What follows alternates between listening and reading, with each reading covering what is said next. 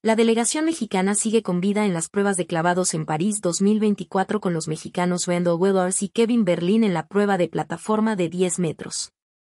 La dupla tricolor alcanzó la cantidad de puntos suficientes para clasificar a las semifinales.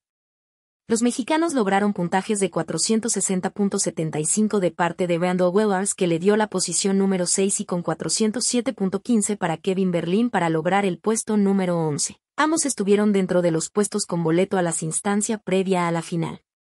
Su participación continuará este sábado, 10 de agosto cuando salgan de nuevo a la alberca a buscar su pase a la gran final y pelear por las medallas que México en París 2024 hectáreas tenido buenos números en estas competencias con dos preseas. Los clavados han sido el gran aliado para México en Juegos Olímpicos de París 2024.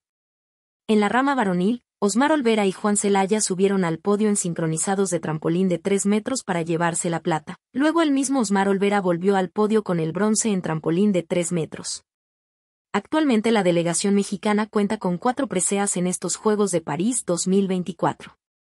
Dos ganadas en los clavados como ya se mencionó, una más en judo y otra en tiro con arco y se espera una quinta de parte de Marco Verde que puede ser de plata u oro esto en boxeo.